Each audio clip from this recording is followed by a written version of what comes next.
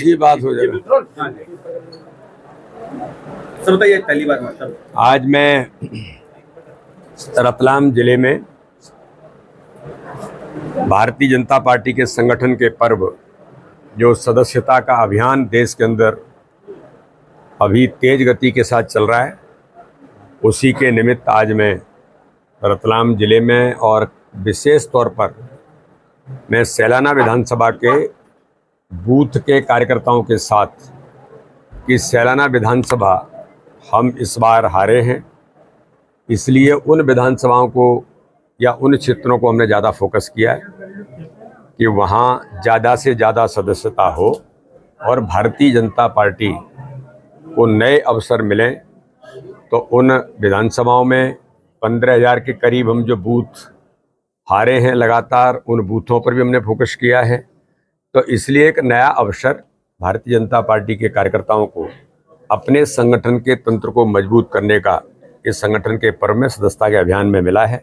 तो मैं भी उस निमित्त आज बूथ के कार्यकर्ताओं से, शक्ति केंद्र के कार्यकर्ताओं से सैलाना विधानसभा में बात करूँगा। बाद में फिर हमारे समाज के अन्य वर्ग के जो लोग हैं, जो सर्वव्यापी और सर्वस्पर्शी सदस्यता बनाने के लिए हम प्रतिबद्धित हैं कि हर वर्ग में भारतीय जनता पार्टी की पहुँच हो।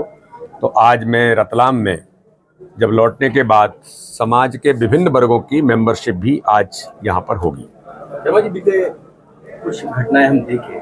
कुछ लोग भी लोग ऐसे देखने को मिल रहे हैं समाज में कि जो भगवान गणेश के चल समारोह पे उनकी प्रतिमा पे पत्थर फेंकने से भी पीछे नहीं है। और रतलाम में भी ऐसा हाल ही में देखिए इस प्रकार के जो लोग हैं जो मध्य प्रदेश के अंदर या देश के अंदर, ऐसे तथा कथित कुत्सित प्रयास जो लोग करने वाले हैं कि समाज का वातावरण कैसे बिगाड़ा जाए, इसमें योजनाबद्ध तरीके से कुछ लोग, कुछ राजनीतिक दल के लोग भी इन घटनाओं में इनके पीछे इन्वॉल्व रहते हैं।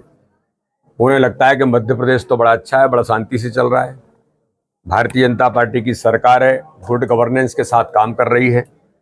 तो कैसे वातावरण को बिगाड़ा जाए? लेकिन ऐसे लोगों पर कड़ी से कड़ी कार्रवाई हमारी सरकार ने और हमारे संवेदनशील मुख्यमंत्री डॉक्टर मोहन यादव लगातार ऐसे लोगों को एक क्षण भी नहीं छोड़ते। तो चाहे वो विधर्मी होंगे, चाहे इस प्रकार की घटनाएँ, दुर्घटनाएँ करने वाले लोग होंगे, उनका स्थान समाज में नहीं, उनका स्थान जेल के अंदर ही होगा। और ऐसे लोगों पर कड़ी से कड़ी कार्रवाई होगी। रतलाम के पूर्व एसपी ने पथराव की घटना को झुटला दिया था और उनके समर्थन में दिग्विजय सिंह भी आए हैं और उनका कहना है आरोप है कि बीजेपी ने उनको तारीफ़ करनी थी बजाय उसको ट्रांसफ़र कर तो क्या दिग्विजय सिंह रतलाम की उस घटना पर जो अभी आप सभी पत्रकार मित्र जिस बात को कह रहे हैं कि गणेश उत्सव में तथा कथित कुछ लोग उन विधर्मियों ने पथराव किया तो दिग्विजय सिंह उस पथराव को अच्छा मानते हैं?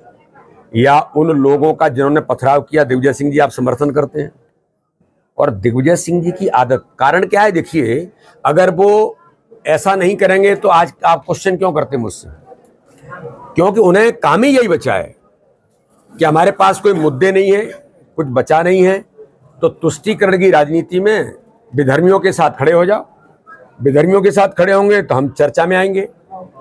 तो ऐसे लोगों को दिग्विजय सिंह आज से नहीं।